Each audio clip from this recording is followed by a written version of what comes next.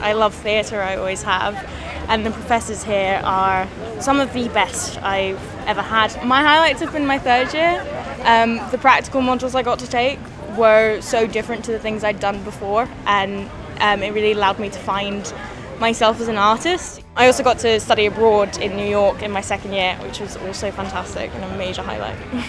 I just really enjoyed that uh, excitement that came with discovering new things about reading something first time round and then the second time round there's an entirely new perspective on it. I think it's been really challenging to uh, kind of worry about meeting that level but then it's been really inspiring because the conversations that we have in the seminars are just mind blowing. And it's really fantastic as well to see how everyone has progressed in the course. People that you started first year with who are kind of like, oh, never be able to get around performance art, and then suddenly they're creating amazing performance art for themselves. The course itself I really enjoyed because there was so much variety of module choice, and that's what attracted me to the module in the first place.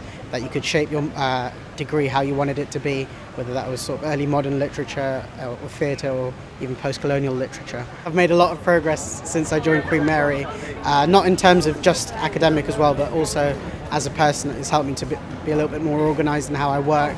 They allow you the independence while also making sure you keep on top of your work at all times. So that was one of the most important things I learned, and also just meeting a wider range of people from all over the world, really.